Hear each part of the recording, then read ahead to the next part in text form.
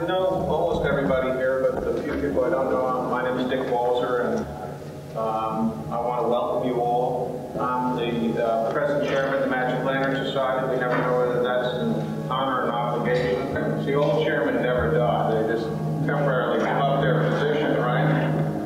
Only to reclaim it. Mostly what we wanted to do is to try to get everybody together. I think it's nice that all of you have come here to, to do it.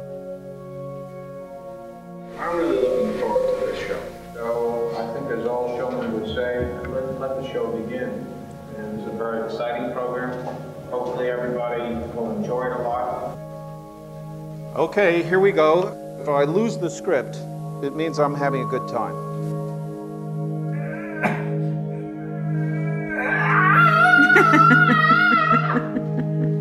Welcome to the Magic Lantern Show. You, you may find some curious and interesting things happen this evening. This is actually a print from 1800. It was called Cubit's Magic Lantern. I figured I could name it after myself. Really realize the showman just decided how to use what artifacts to do his or her magic. So if we can have the lights.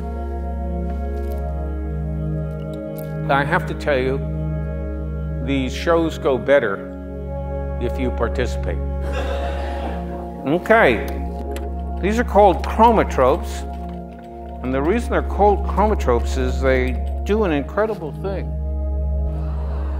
See, you thought that was incredible. Now wait, wait, none of you who've ever seen a Magic Lantern show has seen this.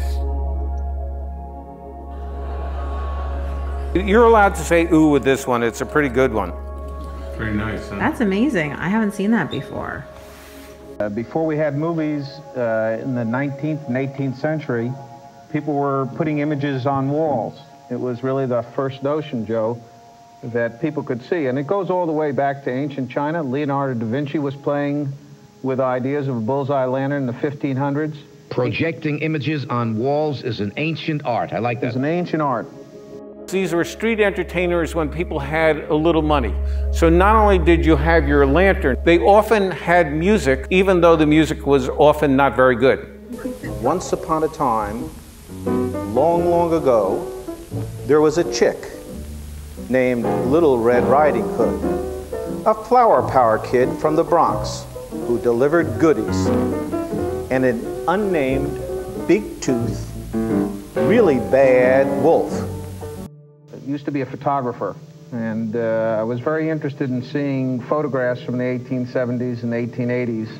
And then one day I went to a Magic Lantern show, and it's just, uh, my eyes lit up, uh, my eyes rolled over, and it was like seeing chocolate chip cookies. I just uh, fell in love with these things. They hit their golden uh, age from about period of 1860 to 1900, and then they couldn't compete with the movies. When movies emerged, that was kind of the death knell of the Magic Lantern.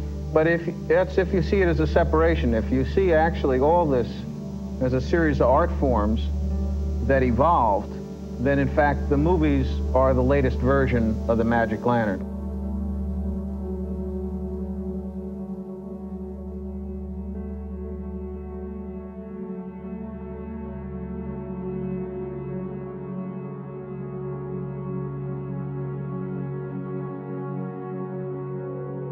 Shadow toys from about 1820. And they just get better and better. I'm um, feeling good. It's good news.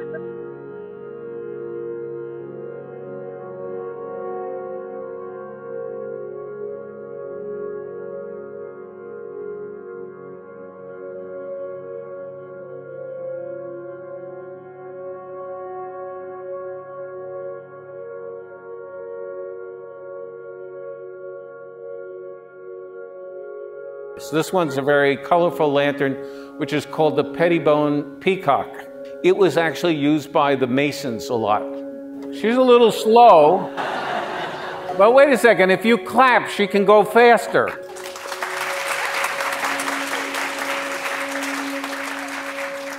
Oh! Ooh!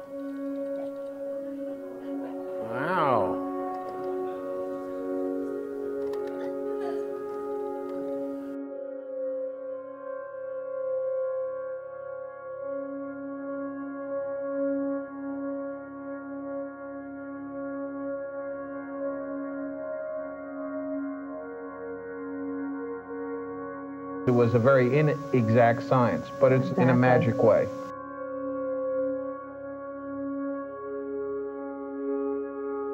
I just thought of those remarks sort of off the top. I just learned a lot from different people's styles. The form of any collecting, I know you know a lot about collecting, is the hunt. Finding something in a field and then uh, handling about it, trying to set a price and trying to buy it. I got a lot of stuff to uh, steal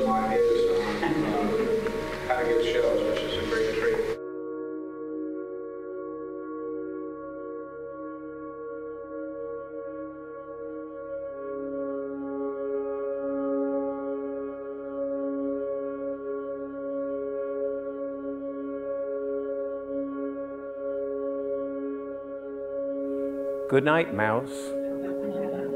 Good night, moon. Good night, everyone.